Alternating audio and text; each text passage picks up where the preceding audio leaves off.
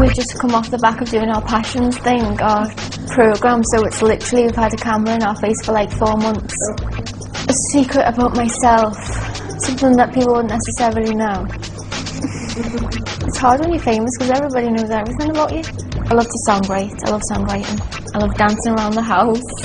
To be honest, I quite like being on my own, like especially you just kind of do your own thing and like be in your own world and just talk to yourself if you want to talk to yourself or anything. I try to live by sometimes it's best to take your own advice, like be morally correct. Yeah. The advice that you would give somebody else if you were in that situation, I feel like sometimes you wouldn't necessarily take your own advice Yeah. because you can, I don't know, whether it's to do with love, love is blind, whether it's to do, I don't know what else, but I always try to be really morally correct and do the right thing.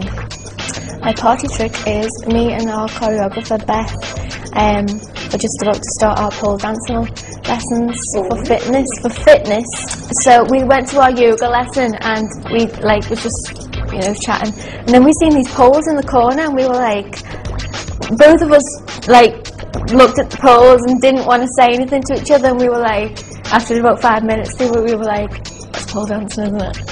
And then we said to the woman, and she said, yeah, come along. And we were like, oh, so we're going to start.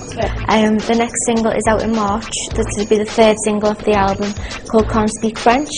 And so, yeah, we're, we're having a little bit of a break at the moment, and it's back to full work on the 1st of March to promote the single. So we're um, enjoying our well earned rest.